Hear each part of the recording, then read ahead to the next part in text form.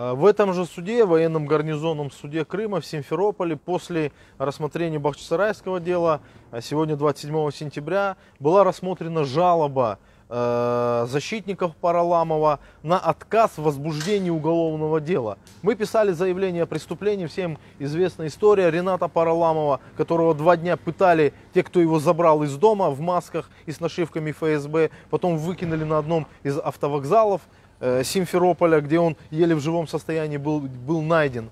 Э, Мы требовали заявления о преступлении, рассылали и ФСБ, и военную прокуратуру о том, чтобы они нашли этих людей, кто его пытал, и возбудили уголовное дело. Нам пришел отказ, и этот отказ мы обжаловали в военный суд. Э, Я был параллельно в в в процессе. Эдем Семедляев, адвокат, э, был на, вот, по моей жалобе, по нашей жалобе. Он был непосредственно в суде по Параламову. Вот мы ждем, когда он выйдет, и он уже э, объяснит, что же происходило в этом суде. Я единственное хочу сказать, что постановление об отказе в возбуждении уголовного дела было абсолютно необосновано.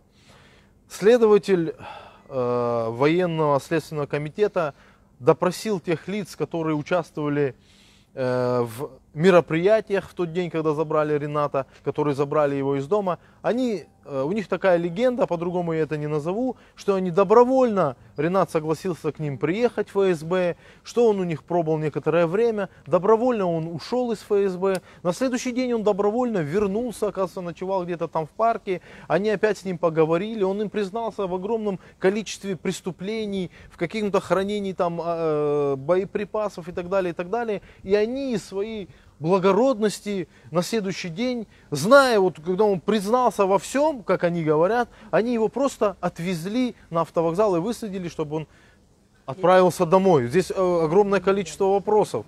То есть, если исследовать их логики, они должны были немедленно его задержать, избрать ему меру пресечения, как они это делают, и посадить его в СИЗО. А человек признается во всем, там огромное количество преступлений, терроризм, бомбы, оружие, взрывчатка, и они его сами довозят до автовокзала и отправляют. То есть никакой критики ну, такая легенда не выдерживает. И вот на основе этого следователь отказал в возбуждении уголовного дела, а все наши доводы назвал попыткой э, уйти от ответственности Рената за те преступления, которые якобы он совершил.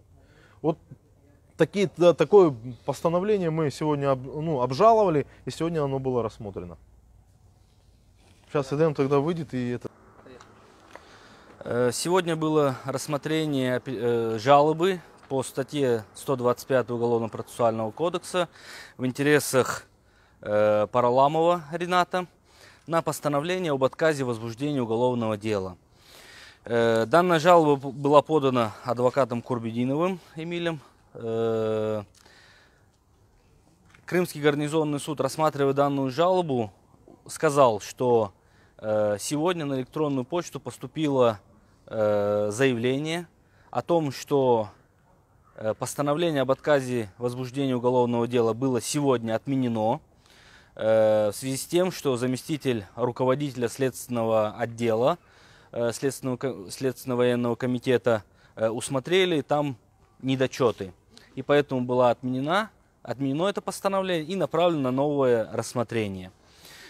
Э, Это говорит о том, что, в принципе, мы были правы, подавая данное, данную, данную жалобу, э, и вынудили, можно сказать, следственный, э, следственный отдел э, самим признать то, что данное постановление было незаконным.